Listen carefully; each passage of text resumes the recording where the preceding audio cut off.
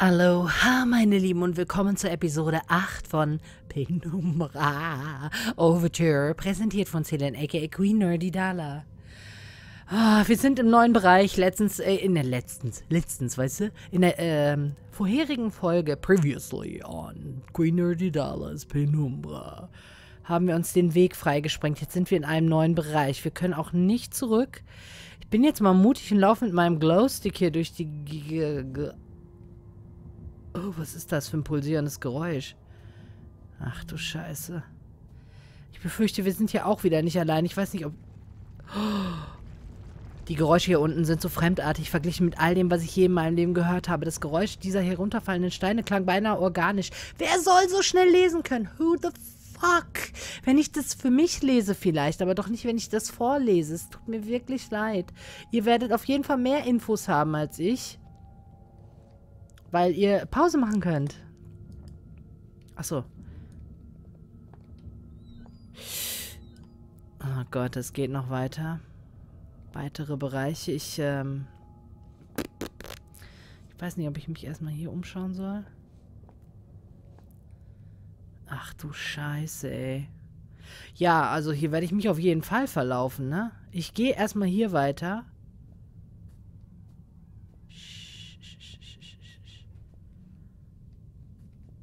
Ne, ich gehe erstmal durch die Tür. Weil äh, ich, äh, keine Ahnung. Wir werden noch überall äh, noch hin müssen. Da bin ich mir relativ sicher. Ich gehe mal wieder in... Was ist das? Hier muss es doch irgendeine Art von Notstromsystem geben. Ich glaube, das hier ist ein Teil davon. Mhm, alles klar. Kann ich das hier nehmen? Ey, Leute, ich weiß nicht, ob ich die Kisten hier kaputt kloppen soll oder nicht. Oh. Okay.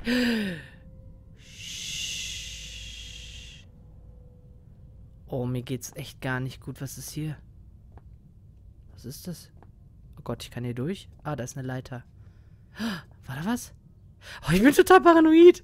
Die Wände dieses Lochs haben nicht die gleiche Struktur wie die der anderen Schächte. Schaut aus wie von Hand gegraben. Aber weshalb?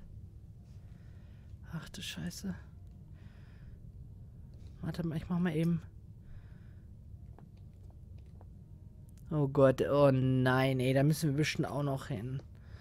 Oh, was ist das? Vom Aussehen her schätze ich, dass dieses Ding als Steuerung für den Generator dient. Ach du Scheiße. Oh, erstmal. Nee, erstmal. Äh, nee, oh, erstmal Batterien. Batterien. Und dann. Steelberg, Steelberg, Generator Typ 7, äh, 7G73. Wir beglückwünschen Sie zum Kauf eines Geräts aus der Typ 7 Produktreihe. Wir sind uns sicher, dass Sie mit dem neuen benzinbetriebenen Notfallsystem zufrieden sein werden. Nachfolgend möchten wir Ihnen einige der Besonderheiten des Steelberg Gen Generators Typ, typ oh, Wahnsinn, 7G präsentieren. Verschleißreduzierung durch Ersetzen des Kurbelmotors durch eine batteriebetriebene Einheit. Verringerung des Austritts von Schmiermitteln dank neuem Schmiermittelkontrollsystem, geringe Anschaffungskosten durch Reduzierung der elektrischen Isolierung beim 7G-Basismodell und vieles, vieles mehr. Schnellstartanleitung. Okay, das werden wir gleich brauchen, schätze ich mal, weil wir das Ding wahrscheinlich starten müssen. Stellen Sie sicher, dass sich in der Umgebung des Stilberg-Generators Typ 7G für den Fall einer Überhitzung keine weiteren Gegenstände oder Personen befinden. Okay, dann müssen wir also weg davon. Richten Sie den sekundären Kreislauf durch Drehen des Ventils ein. Aktivieren Sie das Kühlsystem, um einer Überhitzung vorzubeugen. Lassen Sie so lange überschüssigen Dampf ab, bis die Druckanzeige einen sicheren Betrieb der Anlage anzeigt. Kontrollieren Sie den Schmier Schmiermittelstand und stellen Sie sicher, dass kein Schmiermittel austreten kann. Was? Richten Sie den primären Kreislauf durch Drehen des Hauptventils ein. Noch ein paar Schritte? Betätigen Sie den Hauptschalter. Überprüfen Sie den Energieausstoß. Ihr neuer Generator ist nun in Betrieb. Ja, klar. Ist, ist okay. Ich äh, speichere mal eben. Or not.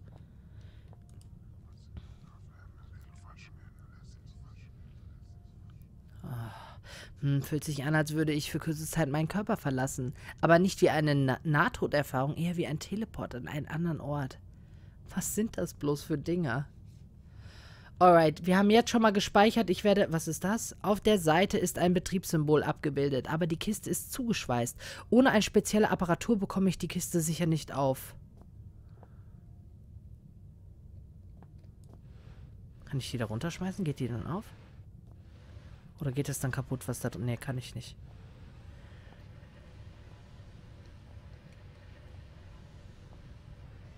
Nee.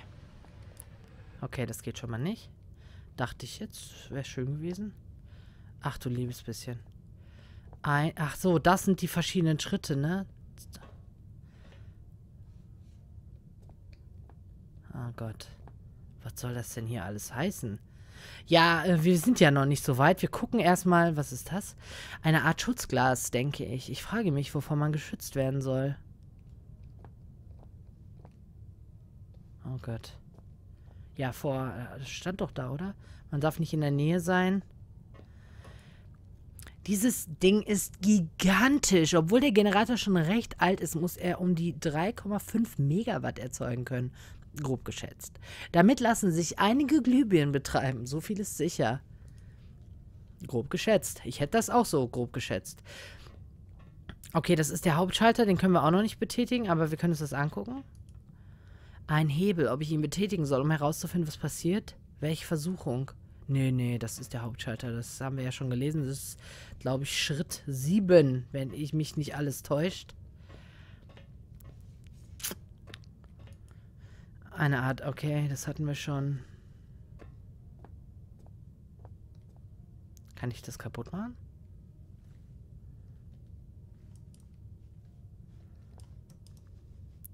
Alter!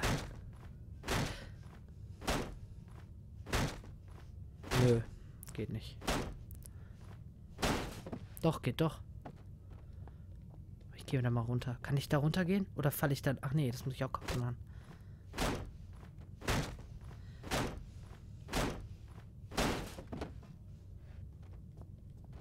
Kann ich... Nee, ich fall da runter. Ich kann das, glaube ich, nicht machen. Ach so, Moment.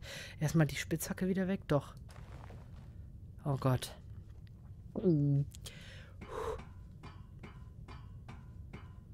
Oh Gott, da wird ja mit Schugge. Kann ich gar nicht hingucken. Da kriege ich ja Kreise vor den Augen. Hilfe! Was mache ich hier? Oh.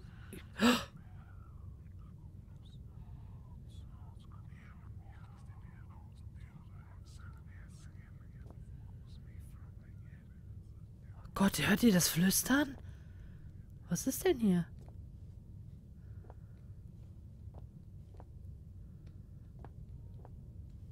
Hä? Boah, das Flüstern war ja widerlich. Das ist ja so, so wie so eine geisterbesessene Mie Ich muss das wahrscheinlich. Kann ich den. Ich probiere jetzt nochmal die. Ähm, kann ich da auch schneller hoch? Nein. Die Kiste runterzuschmeißen.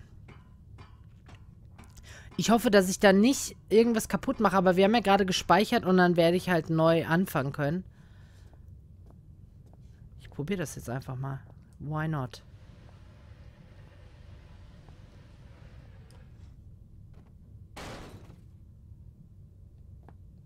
Jetzt muss ich nochmal runter.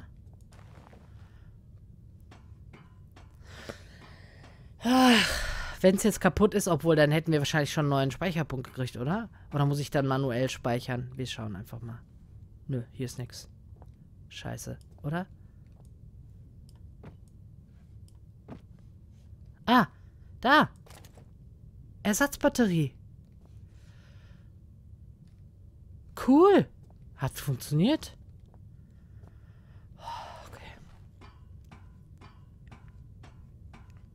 Kommt die denn wo rein?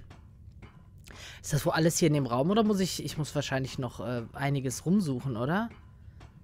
Wo könnte denn diese Batterie reinkommen? Hier. Wo habe ich sie? Ersatz... Nee, habe ich nicht. Doch, da. Auf die 7. Zack, 7. Okay, die Batterie ist angeschlossen. Der Startmotor scheint einsatzbereit zu sein. Dann wollen wir mal. Oh, dann wollen wir mal. Vom Aussehen her schätze ich, dass dieses Ding als Steuerung für den Generator dient.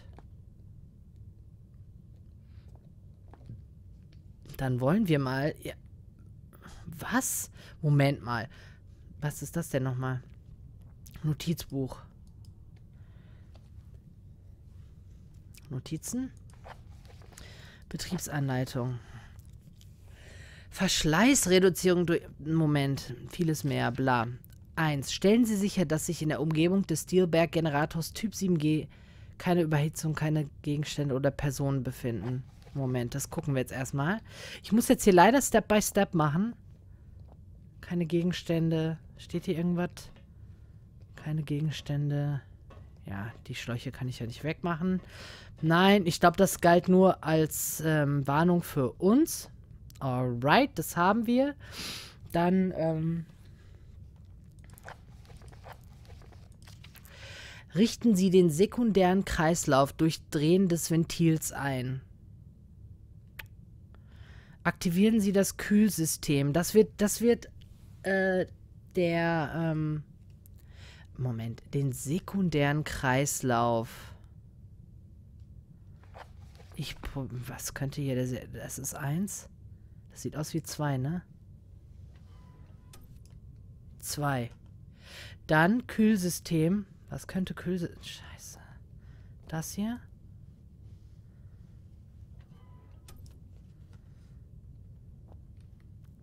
Okay, weiter. Aktivieren Sie das. Habe ich. Lassen Sie so lange überschüssigen Dampf ab, bis die Druckanzeige einen sicheren Betrieb anzeigt. Dampf ablassen. Ja. Wo denn?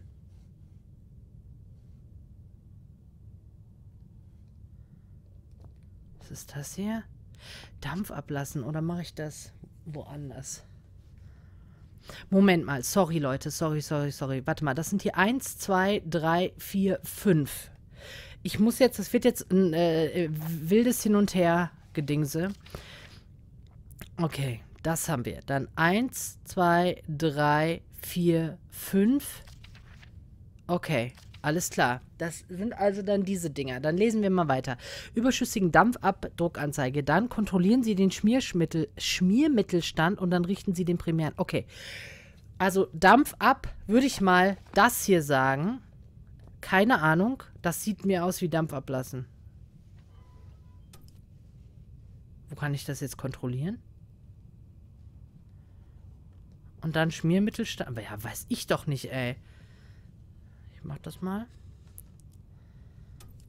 Das sieht auch aus wie Dampf, aber... Und jetzt primären Dingens?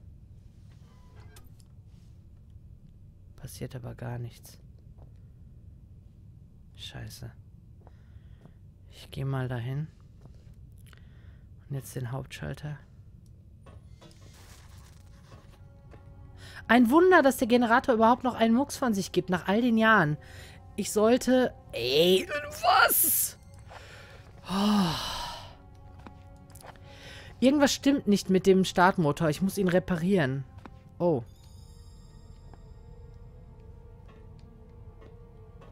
Okay, das war also falsch, ja.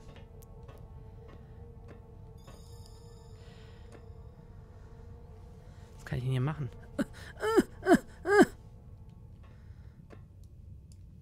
Moment mal, kann ich hier... Gleich ist das Ding kaputt und fliegt mir um den Ohren. Ich sehe es schon kommen. Nö, passiert nichts.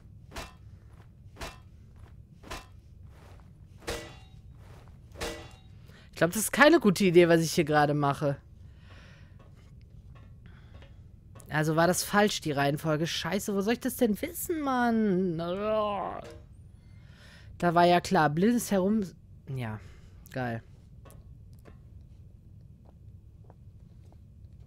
Alles wieder von vorne. Okay, erstmal die, die zwei. Wieso geht das denn jetzt nicht mehr? Ach, das Scheiße. Nö. Hä? Und jetzt?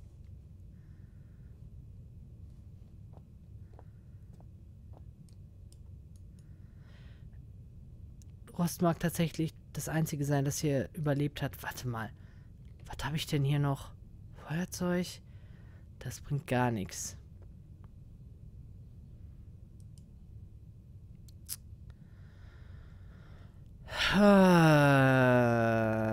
Also ich kann jetzt hier auch nichts mehr machen. Das war, glaube ich, gerade schon richtig irgendwie. Moment, ich drehe das mal wieder zurück. Das drehe ich auch mal wieder zurück. Das ist aber knifflig, Mann. Irgendwas stimmt nicht mit dem Startmotor. Ich muss ihn reparieren. Aber wie denn? Wie denn? Nee, da unten. Okay, ich konnte ja hier... Ich kriege ja hier eine Hand. Kriege ich noch irgendwo eine Hand?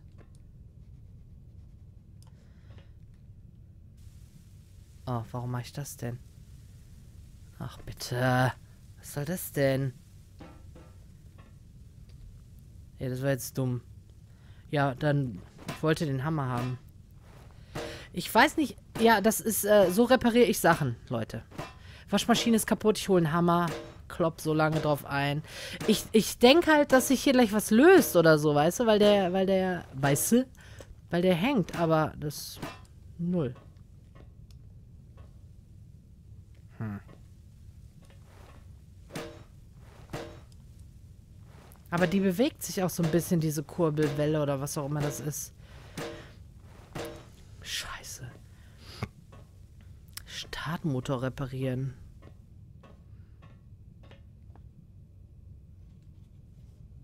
Sind die vielleicht irgendwelche Verkabelungen nicht richtig?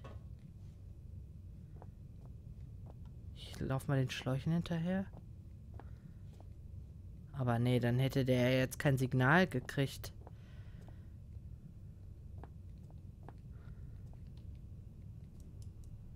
Moment, ich muss mal den Hammer wieder wegpacken. Kann ich hier etwas tun? Nee. Pff, scheiße, Mann.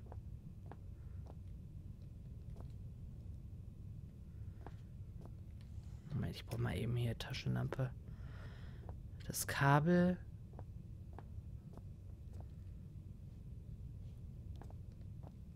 Ich speichere noch mal eben.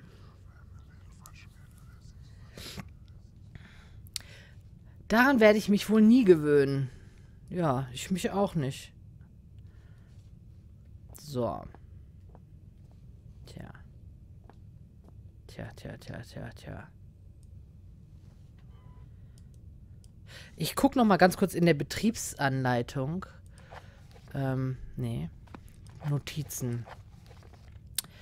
Ähm, richten Sie primären Kreislaufdurchdrehen des Hauptventils ein. Betätigen Sie den Hauptschalter. Überprüfen Sie den Energieausstoß. Wie kann ich denn den Energieausstoß mal am besten überprüfen?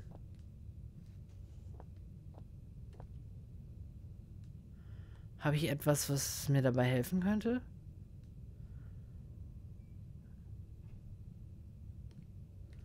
Ich glaube nicht.